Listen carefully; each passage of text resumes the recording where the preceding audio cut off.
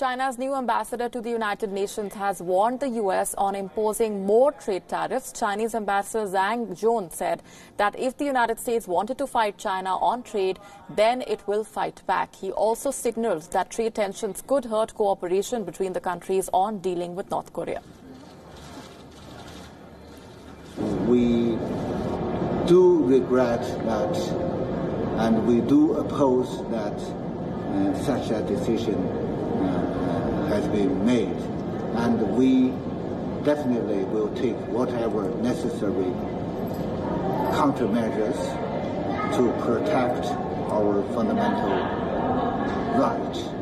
And we also urge the United States to come back to the uh, right track and in finding the right solution through the right way.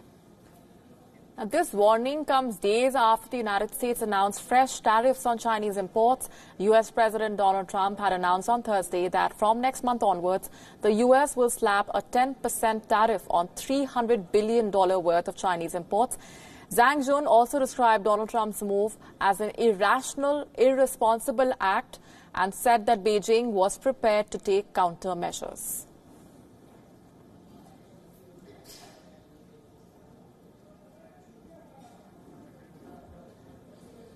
And even as India is waiting for the release of its sailors in the ongoing tensions between the Iran and the West, between Iran and the West, Indian External Affairs Minister S. Jaishankar has issued a statement saying that the crew members are safe. The minister addressed concerns uh, through a tweet. He said, and I'm quoting, we are focused on the early release and repatriation of all 18 Indian crew members of Stena Impero. Officers of our embassy in Tehran have met them and they seem to be in good health with adequate supplies. We remain in constant contact with the Iranian authorities to resolve this.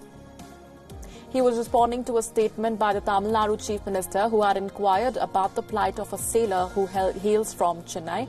Remember, 18 Indians who were on the UK ship Stena Impero continue to remain hostage due to Iran-West tensions.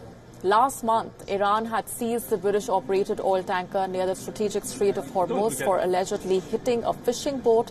The ship has a total of 23 crew members who remain confined to the vessel as concern for their welfare is on the rise.